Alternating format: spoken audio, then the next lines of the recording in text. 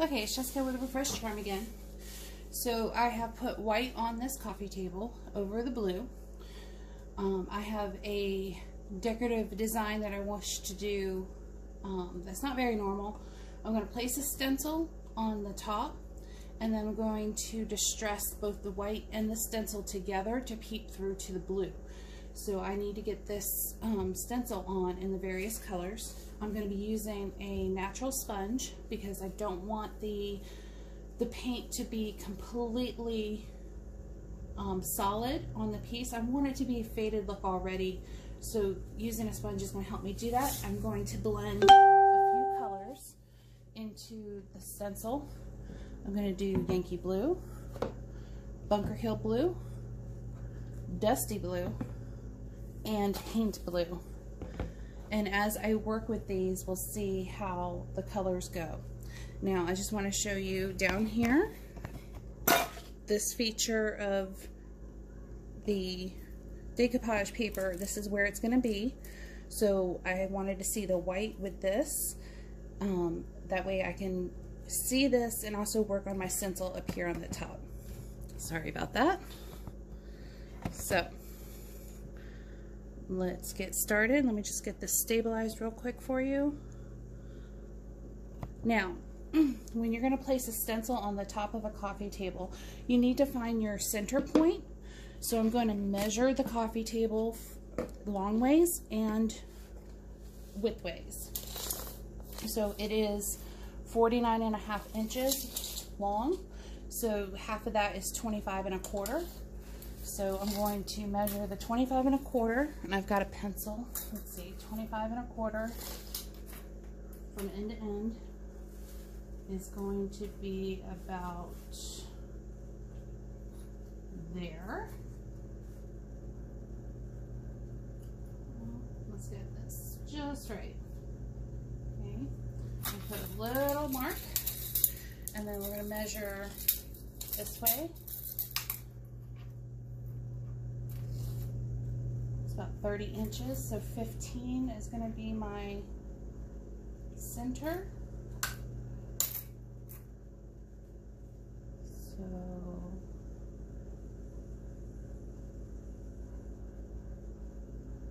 fifteen needs to be. Oh. Well, I got that on the first try. So now that I have it centered, have this little medallion here in the center that I'm centering it on, let me move the camera forward. Okay. So right here is my center. That way I can see. Now what I'm going to do is tape this down. Let me grab some painter's tape.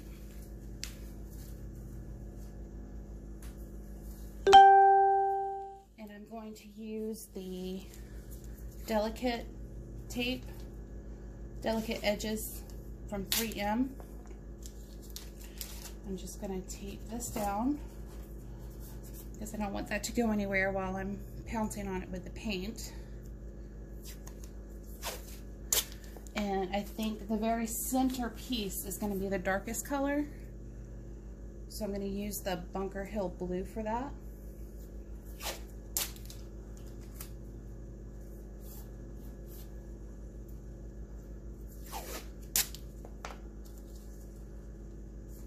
Now, the only thing about this is is this now actually perfectly? So you can take the edge of your stencil and measure at a certain point. So that's five inches. Let's move that just a little, sorry. So there to there is five inches. There to there is five inches. Five inches. Okay, so, you know? I was looking at a different area of the stencil. So which is good because my stencil was going to be crooked. So we are going to figure this out real quick. So we need that center point to be in the center, but we need this to be placed. Let's see. That's better. Five inches No, that needs to go up some more.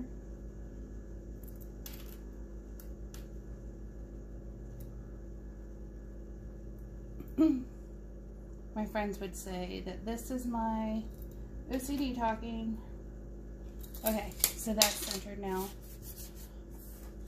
And that's just a little bit of a difference, but that is,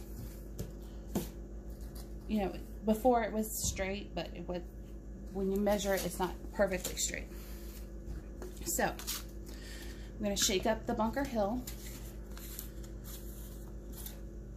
Let's see, let's get this open. Ugh. I've used this before and there's a skin on it. Okay, so I'm just going to pour some out. You don't need too much. Okay.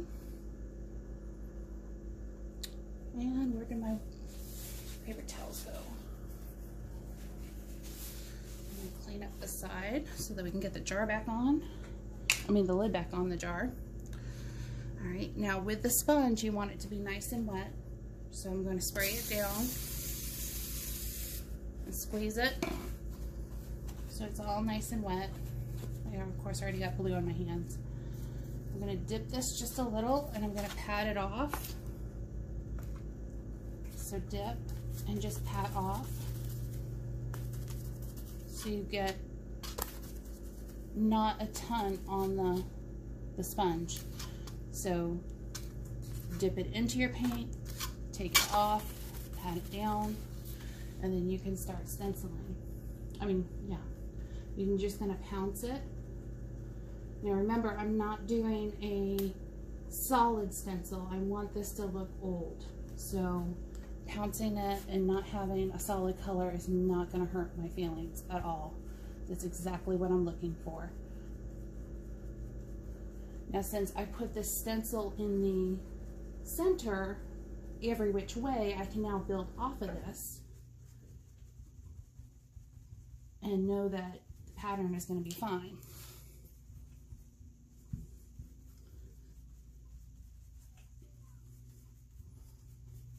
And just stretch out some of this darker blue since I already have it on.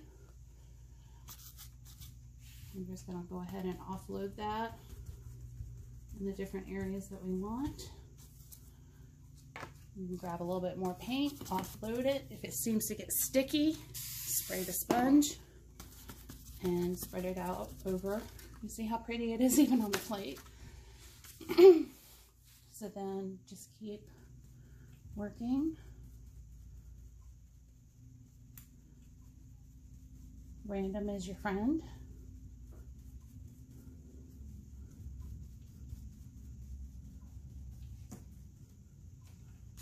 move this so I can get this corner.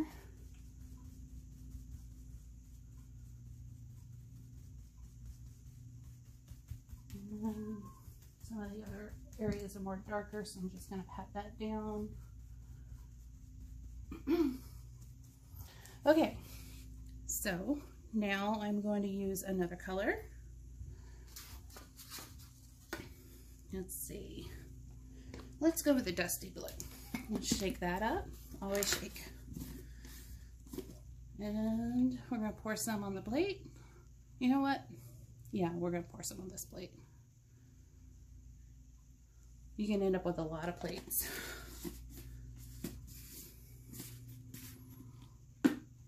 Okay. You're going to spray your sponge again. Now, if you want to offload your sponge, you can. Just take a paper towel and kind of take off some of that, the darker color. You can also have multiple sponges if you want. I don't really care because I'm, this is supposed to be a mix of colors anyway, so I'm totally fine with it. I'm going to put a little bit of dusty blue on and let's see, yeah, I'll use this plate again and just pat it off. You don't want too much on your sponge. You know, let me get another plate.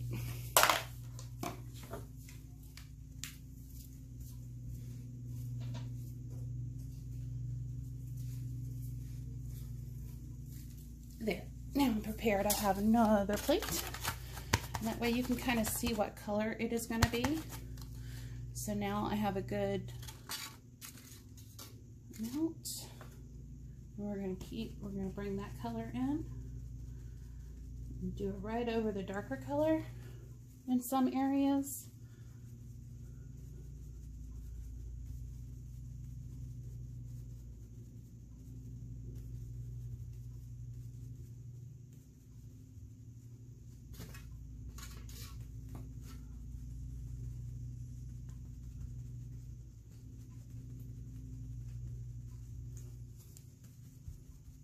Get some more, spray more sponge.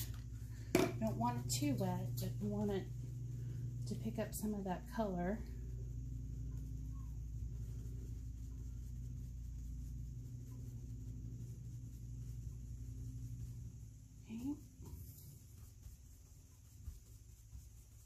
I'm finishing kind of covering up the entire stencil with this color because I'm going to bring the lighter color in after.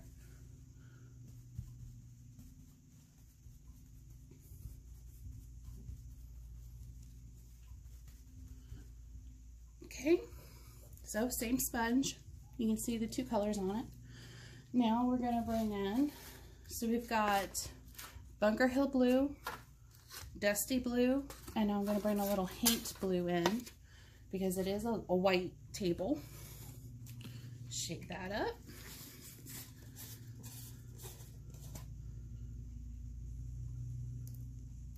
Ooh, don't need that much, but okay.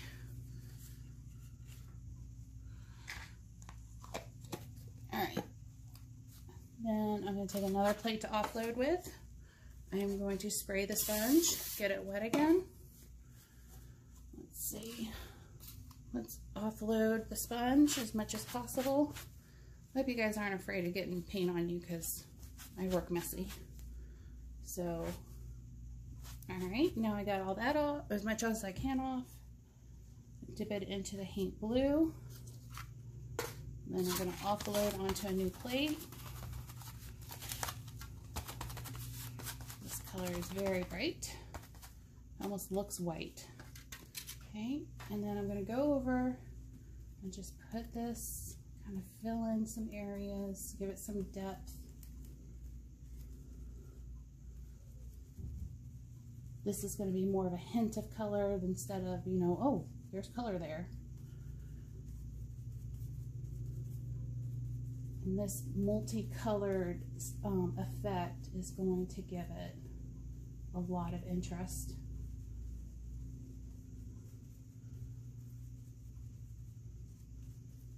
Okay, so that is done. Let's take a look. You can see the different colors.